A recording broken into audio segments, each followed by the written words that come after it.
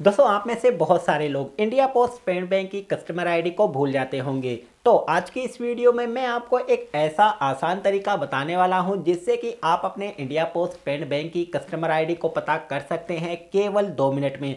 और इसके लिए आपको ना तो पोस्ट ऑफ़िस में जाने की ज़रूरत है और ना ही कस्टमर केयर में कॉल करने की ज़रूरत है। केवल दो मिनट के अंदर आप अपनी कस्टमर आईडी को पता लगा सकते हैं। तो कौन सा है वो तरीका, जानने के लिए आ जाओ, शुरू करते हैं वीडियो को।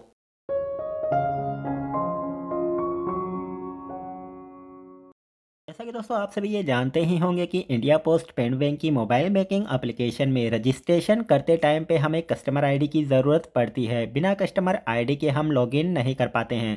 तो आप में से ऐसे बहुत सारे यूज़र हैं जो कि कस्टमर आईडी को भूल जाते हैं। तो वो कैसे पता करें? तो एक आसान सा तरीका मैं आपको इस वीडियो में बताने वाला हूँ, जिससे कि आप अपने कस्टमर आईडी को केवल दो मिनट के अंदर पता कर सकते हैं और इसके लिए आपको कस्टमर केयर में कॉल करने की भी ज़रूरत नहीं पड़ेगी। करना क्या है? कुछ नहीं करना है, बस आपको अपने मोबाइल फ़ोन में ईमेल को ओपन कर लेना है। दोस्तों, आपने इंडिया पोस्ट पेमेंट बैंक में अकाउंट बनाते टाइम पे एक ईमेल आईडी को तो ज़रूर रजिस्टर किया होगा और उसी ईमेल आईडी को आपको ओपन कर लेना है। ओपन करने के बाद में दोस्तों आपको ऊपर ऊपर सर्च बार का ऑप्शन मिलेगा, जिसके ऊपर आपको क्लिक कर देना है और यहाँ पे जाकर के आपको टाइप करना है आई स्टेटमेंट लिख करके जब आप सर्च करेंगे तो आपके सामने इंडिया पोस्ट पेमेंट बैंक का जो स्टेटमेंट है वो देखने के लिए मिल जाता है, जो कि आपको हर महीने इंडिया पोस्ट पेमेंट बैंक की तरफ़ से रिसीव होता है, जो कि एक फ्री सर्विस होती है। हर महीने ये आपको ई स्टेटमेंट रिसीव होता होगा। तो आपको क्या करना है, उस ई स्टेटमेंट के ऊपर आपको क्लिक कर देना है। क्लिक करने के बाद में आपको स्क्रॉल करके नीचे आना है। है। जब आप नीचे आएँगे तो यहाँ पे आपको एक पीडीएफ फ़ाइल देखने के लिए मिलेगी। इस पीडीएफ फ़ाइल को आपको क्लिक करके डाउनलोड कर लेना है। डाउनलोड करने के बाद में दोस्तों, इस पीडीएफ फ़ाइल को ओपन करने के लिए हमें पासवर्ड की ज़रूरत पड़ने वाली है और आप में से बहुत सारे यूज़र ऐसे भी होंगे जिनको पासवर्ड का पता ही नहीं होता है। तो पासवर्ड क्या है? बहुत ही आसान सा तरीका है जिसे आप पासवर्ड पता कर सकते हैं। मान लीजिए कि दोस्तों, अगर आपका नाम है सुनील गुप्ता और आपका जन्म हुआ है 10 अप्रैल उन्नीस सौ बानवे को तो यहाँ पे दोस्तों पासवर्ड जो है वो आपका नेम और डेट ऑफ़ बर्थ ही होने वाला है। मगर टाइप करने का एक तरीका है और जो तरीका है, चलिए मैं आपको बताता हूँ। तो सबसे पहले आपको अपने नेम को एंटर करना है। आपका जो भी नाम है उसका चार लेटर पहले जो लेटर आता है जैसे कि सुनील है तो एस यू एन आई यहाँ पे आपको टाइप कर देना है। सो so, यहाँ पे हमने नाम का जो चार अक्षर होता है पहला उसे यहाँ पे मैंने टाइप कर दिया है। अब दोस्तों यहाँ पे हमें डेट ऑफ़ बर्थ टाइप करना है। डेट ऑफ़ बर्थ क्या थी?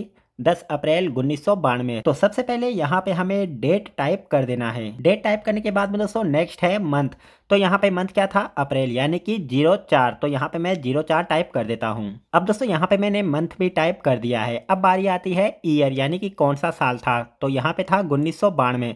तो यहाँ पे दोस्तों हम जो उन्नीस सौ बानवे है, उसका जो उन्नीस हटा करके लास्ट में जो बानवे आता है, उसे यहाँ पे हमें टाइप कर देना है। तो यहाँ पे दोस्तों हमने पासवर्ड को एंटर कर दिया है। अब एंटर करने के बाद में नीचे है ओके का ऑप्शन इसके ऊपर आपको क्लिक कर देना है। क्लिक करते ही दोस्तों यहाँ पे आप देख सकते हैं कि इंडिया पोस्ट पेमेंट बैंक का जो ई स्टेटमेंट है, वो ओपन हो गया है। ओपन होने के साथ ही दोस्तों यहाँ पे आप देख सकते हैं मेरा नाम जो है, वो आ चुका है और नीचे अकाउंट डिटेल आ चुकी है। ब्रांच ऑफ़िस आ चुका है। हेड नंबर रोड नंबर जो भी यहाँ पे एड्रेस वगैरह है, वो भी हमें देखने के लिए मिलता है। मगर, जब आप थोड़ा सा नीचे अगर ध्यान देंगे तो यहाँ पे आपको आपका इंडिया पोस्ट पेड बैंक का अकाउंट नंबर भी देखने के लिए मिलेगा और साथ ही साथ कस्टमर आईडी देखने के लिए मिल जाती है। देखिए, यहाँ पे नीचे अकाउंट नंबर के नीचे ही आपको कस्टमर आईडी देखने के लिए मिल जाएगी। तो दोस्तों, यहाँ पे मैंने आपको बता दिया है कि कैसे आप अपने इंडिया पोस्ट पेमेंट बैंक के कस्टमर आईडी को पता कर सकते हैं। और जो लोग अकाउंट नंबर भूल जाते हैं तो अकाउंट नंबर भी आप पता कर सकते हैं। एकदम आसान सा तरीका है, मैंने आपको इस वीडियो में बता दिया है। जाइए जल्दी से आप अपनी कस्टमर आईडी अकाउंट नंबर को कॉपी पेन में टाइप कर दीजिए नोट डाउन कर लीजिए, आगे आपके बहुत काम आएगा। तो कैसी लगी दोस्तों आपको ये जानकारी? अगर वीडियो अच्छी लगी है, वीडियो को लाइक कर दीजिएगा, दोस्तों के साथ में शेयर कर दीजिएगा, जिनके पास में इंडिया पोस्ट पेमेंट बैंक का अकाउंट है।